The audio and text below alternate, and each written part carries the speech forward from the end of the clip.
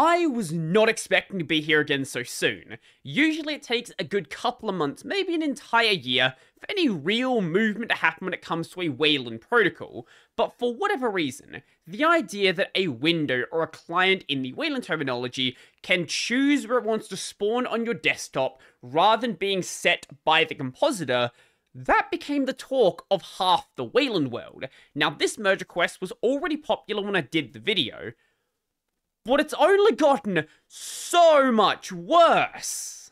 Now, Jonas here explains much of the contention from the Wayland perspective.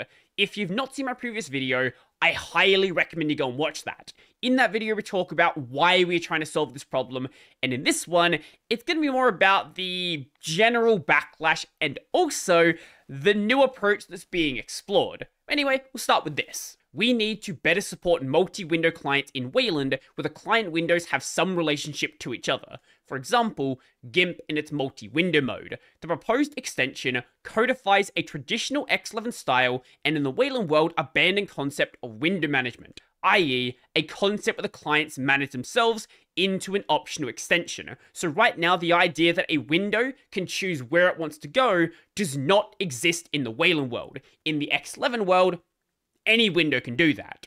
This optional extension is only possible to reasonably implement in stacking window managers with floating windows. Things like KWin for Plasma, Mutter for GNOME, places where you can just drag around the window wherever you want. With tiling window management, sliding window management, which I've never actually seen before, and VR, etc., it is fairly incompatible without extensive hacks to emulate the expected window management style. This extension we use just as it is on X11 to implement features that have a much better potential alternative. First implementing it and then removing it is not really an option, as it would be considered a significant regression, and by doing so, we'd have zero improvements over what we have now, in addition to more angry users.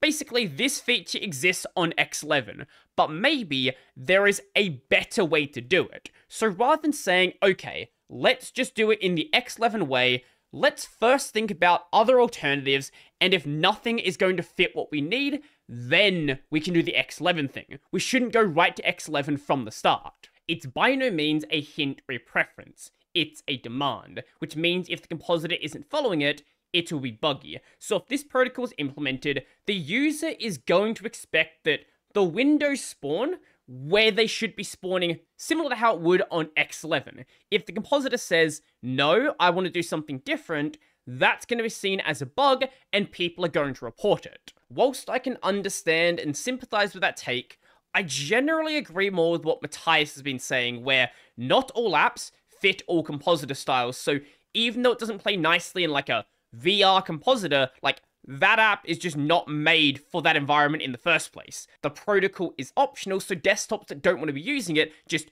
don't have to implement it, and ultimately the compositor does have the final say, because right now, Windows on X11 don't play nicely in a tiling window manager. Like, this is just expected if you don't use a floating environment. Matthias continues to update the protocol, changing things based on the various feedback he was getting, until we got to this from Pekka. I don't know how to say your last name. I'll just say PQ. NACK. This is an official NACK from Weston to include this proposal in XDG or WP namespaces. We believe this does not belong under the XDG umbrella because it allows clients too low level control of window management in the form of output relative coordinates. But what is a NACK? NACK means negative acknowledgement, but what does that mean in the context of Wayland? Well, even people fairly involved in this project didn't actually know the full power of it. Here's Neal Gompa. Weston already doesn't implement almost all the protocols that most people expect in a desktop though. Why should Weston be the sole appropriator slash blocker of it landing in XDG? There's KWin, Mutter, wlroots, and Mer2. That said, I do have concerns about the protocol as it stands, but I also have concerns about how this protocol is being discussed. Let's have a look at Wayland Protocols Governance down to section 2.2 and then point number 3. protocols in the XDG and WP namespaces are ineligible for inclusion if NACKed by any member. So if any governing member of the Wayland Protocols project says, I don't want this to exist, it cannot be in these namespaces. Now there is still the EXT namespace, but it cannot be in either of these namespaces. And when something's in EXT, there is a certain desktop that's probably never going to implement it. You probably know which one. And Neal, as Neal does, continued to rant about this. Daniel Stone asked, What's missing? Well, all of these protocols. So, if they're not going to implement a bunch of protocols that they should be implementing anyway, what value does it have for them to be able to NACK a protocol that they weren't going to implement in the first place? Because of that, SDDM cannot even run its Wayland Greeter properly on Weston because of all that missing stuff. Weston is very obviously not implementing protocols that people expect slash need anyway. Weston is a really weird sort of system because it does have usage in like automotive stuff, but on the desktop, nobody cares about it. So, two problems. First, mentioning alternatives without generating concrete protocol proposals is essentially stop energy. It's unhelpful and can demoralize someone who is really trying to solve a problem. So mentioning the fact that, hey, there are alternatives that can exist doesn't matter because no one's actually making the alternative. Second, who should be motivated to try to create a protocol if any of the members can kill it in a heartbeat? Yeah, I can understand that concern as well, especially, as I said, Weston probably wasn't going to implement it anyway. It's not a completely dead protocol, but forcing it to be moved into EXT gives it a lot less energy behind it. But Sebastian Wick disagrees with Neal on both points. It is not stop energy. If you come to any project, hack something up that's not acceptable to the maintainers, the maintainers do not have to provide an implementation of the same feature that conforms to their standards. If you want a feature, you have to put in the work. I can understand that point. Second, protocols which work for everyone do not get killed in a heartbeat. In fact, this is literally the first time I ever saw a NACK. I've not looked at every protocol proposal myself, but I don't think I've seen one either. They probably do exist, but it's certainly not a common thing. Let's turn this around. Why should someone get forced to implement a feature that they do not agree with at all? If anyone could push any protocol into this repo, what purpose would it serve? You're trying to make it sound like the MRs are not getting merged because we like to NACK things and are unnecessarily harsh with reviews and quality requirements. But again, you need to create a protocol, find consensus, and implement it in three projects, and that is a huge amount of work. Now, this is why Matthias is an absolute G. That thread was a giant train wreck. But Matthias replied at the end to say, an explanation why it is a bad thing would have been nice, but after that discussion, I can pretty much guess. While I of course do not agree with that decision, I really do appreciate the quick and clear response. That is a lot better than long uncertainty periods, and there definitely has been no lack of feedback. I have a different proposal. He made another merge request with another completely different protocol to address this. But before we get to that, look at this friendly disagreement between PQ and Matthias. I'm happy to see that this proposal was moved to the EXT namespace, and I'm even more happy to see that you're investigating alternate solutions as well. Thank you. I do expect to get back to this MR and push it further, but not until other options have been explored, potentially we can achieve a good enough result with the session management protocol and the new window relative positioning protocol, in which case we wouldn't need this protocol anymore. And finding a solution that can work for most compositors is definitely worth the time. In the best case, we can find something that more people can agree on in the worst case, we'll find out that we actually need the EXT placement protocol and can proceed with it later with compositors that do want to support it. This is the new protocol, Draft. Add XDG alignment protocol for window placement control. This is a bit different from the placement protocol, but it is trying to achieve mostly the same goal. In brief, the protocol allows clients some degree of control where their windows end up on a Wayland compositor output some people have voiced concern that now every Wayland compositor might have an absolute coordinate system. While that is certainly true, and while I would assume such compositors simply not implement the output relative positioning protocol, and such apps do not play well with these compositors anyway, I also thought it was a good idea to explore a potential alternative which would look like there are three scenarios which such a protocol needs to address. A main window plus multiple toolboxes, e.g. multi-window GIMP, multiple windows on different outputs in relation to each other, and window arrangement profiles that the application can save and load. Now, this third one, there is a lot of contention about.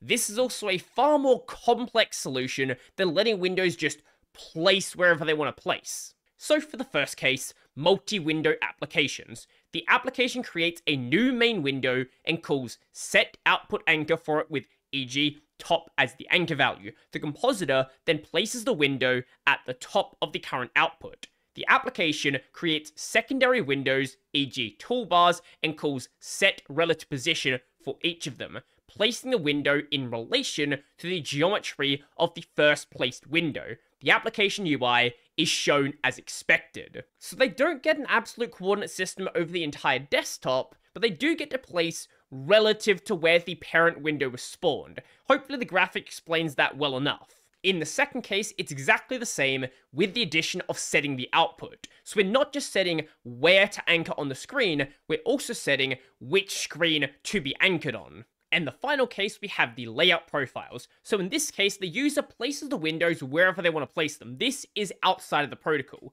And then when they want to save the layout, a geometry token will be generated for each of the individual top level windows. This is going to say the size and the position of the window. These tokens are then saved in a profile. The user can then just move the windows around however they want to, close the application, come back to it, whatever they want to do, and when they want to load the profile, those geometry tokens are going to be used to place windows where they previously were. Once again, unless the compositor policy for some reason overwrites this, say with a tiling window manager for example. The one use case this does not fulfill is the case where the UI is constructed from multiple executables, as an application can only arrange windows in relation to its own windows. I can imagine ways to make that work using a token system though, but it requires some care, and tokens would need to be valid for all apps in that case. In order to keep this protocol small, I haven't included that. It's better to make this work for most things than nothing at all. So surely then, things this time went in a more positive fashion.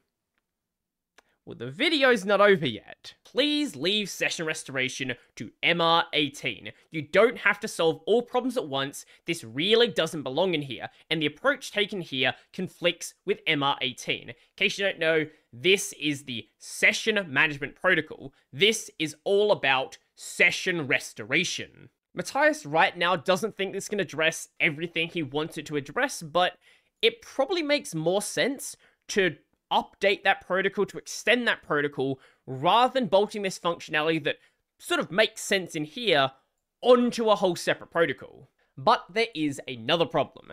This avoids some of the problems of 247, that's the original merge request we looked at, but some big issues still remain. While the compositor can handle things like panels etc. being in the way a lot better, applications still dictate window management, which output they're on, and where they are on that output. This still doesn't work well for compositors that don't have the concept of a regular rectangular output. If you have a scrolling workspace, where would you place a window that's requested to be in the top left corner? In other words, I prefer to have clients express the relationship between their windows and not get involved in where the compositor places those windows in an absolute space. So if you say, I want a window in the middle of the screen, you shouldn't then say the sub windows I want at X relative to that and Y relative to that. You should say, I want the window to the left of that or to the right of that, and then the compositor can interpret what exactly that's supposed to mean.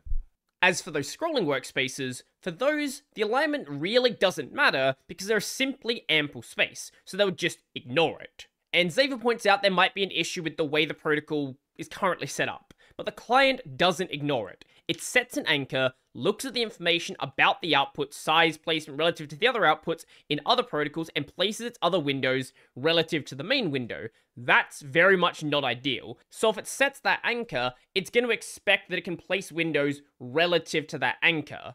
And if that anchor is just being ignored, things are going to get really weird. And again, it's Xaver. Xaver has been very active in this thread. Something that I think this request misses is the application doesn't know about the external constraint on its relative placement, like the border between two outputs. If a client puts a toolbar window at x equals minus 500 relative to its main window, and that puts the toolbar on the border between two screens, what should happen?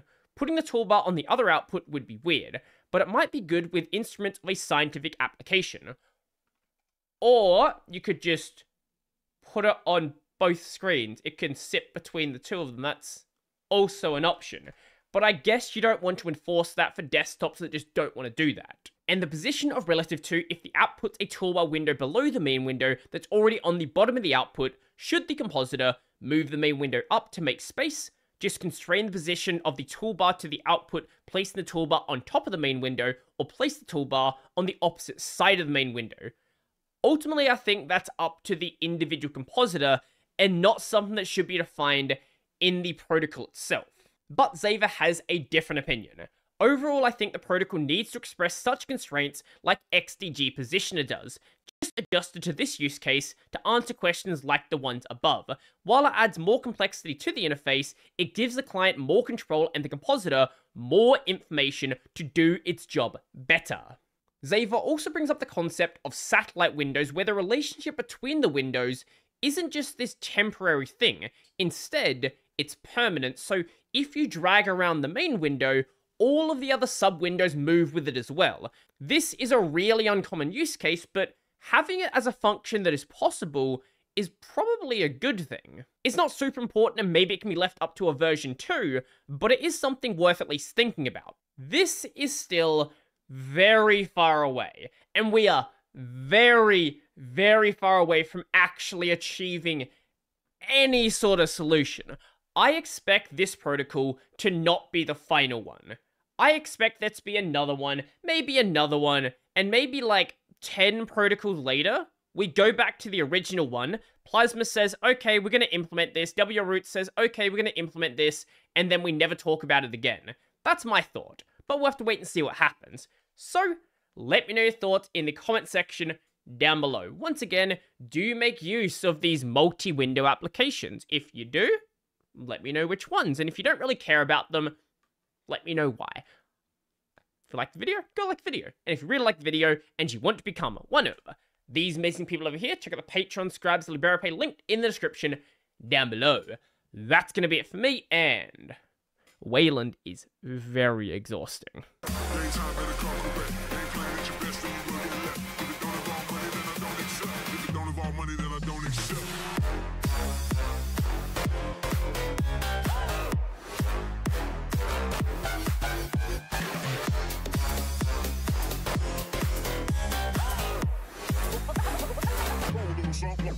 This.